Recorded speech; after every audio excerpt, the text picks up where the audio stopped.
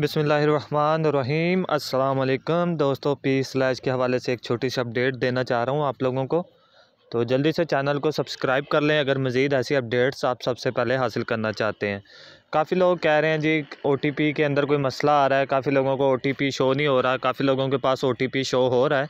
मैंने आप लोगों को बताया था, जो मोबाइल यूज़र हैं, वो कैसे ओटीपी अपना हासिल कर सकते हैं, उसके वीडियो का लिंक मैं नीचे डिस्क्रिप्शन में दे दूँगा, आप लोग वो वीडियो देख के अपना ओटीपी सेट कर सकते हो। काफ़ी लोगों का ओटीपी नहीं आया, काफ़ी लोगों का वो बेल का ऑप्शन नहीं आ रहा, जो मैंने अपनी वीडियो के अंदर बताया था वीडियो देखोगे, आप लोगों को समझ आ जाएगा। तो क्योंकि तकरीबन अस्सी परसेंट लोगों को ओटीपी मिल गया था और बाकी जो बीस परसेंट है, उनको ओटीपी नहीं मिला था। कंपनी की तरफ़ से कुछ प्रॉब्लम थी जो अभी सोल्व हो रही हैं। ठीक है?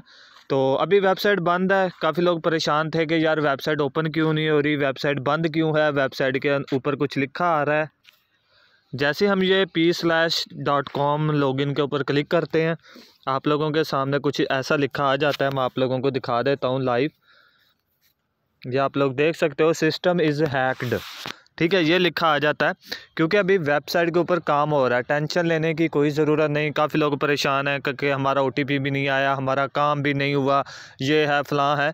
तो प्यारे भाइयों, जिन लोगों ने काम नहीं किया, उन लोगों की अर्निंग ऑटोमेटिकली ऐड हो जाएगी। ठीक है टेंशन लेने की कोई ज़रूरत नहीं। जिन लोगों को ओटीपी नहीं मिला, उन लोगों को ओटीपी भी मिल जाएगा। क्योंकि वेबसाइट के ऊपर काम हो रहा है, जिस वजह से ये कुछ हैक्ड वाला ऑप्शन आया हुआ है। तो इन शाला बहुत जल्द तकरीबन 40 से 48 घंटों के अंदर अंदर ये ठीक हो जाएगा।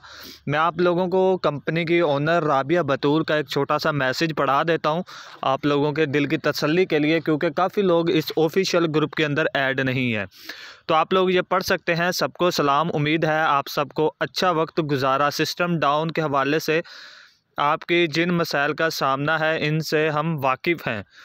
हम ओटीपी पर 48 घंटे से बर रास्त निज़ाम में काम कर रहे हैं। कुछ हैकर्स ने इस देखभाल के दौरान सिस्टम पर हमला करने की कोशिश की, लेकिन हमारे पास अपना बैकअप डाटा महफूज है। हम बहत्तर से अड़तालीस घंटों में दोबारा ज़िंदा ज़िंदा होंगे, यानी कि दोबारा एक्टिव होंगे।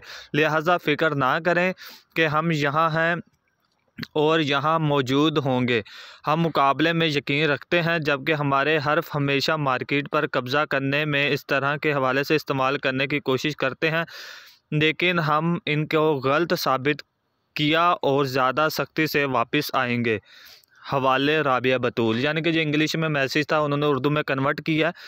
तो टेंशन लेने की कोई ज़रूरत नहीं। इन बहुत जल्द वेबसाइट दोबारा एक्टिव हो जाएगी। आप लोग सही तरीके से काम करना स्टार्ट कर दोगे। मैंने सोचा काफ़ी लोग परेशान हो रहे होंगे, क्यों ना एक छोटी सी अपडेट आप लोगों के साथ शेयर की जाए।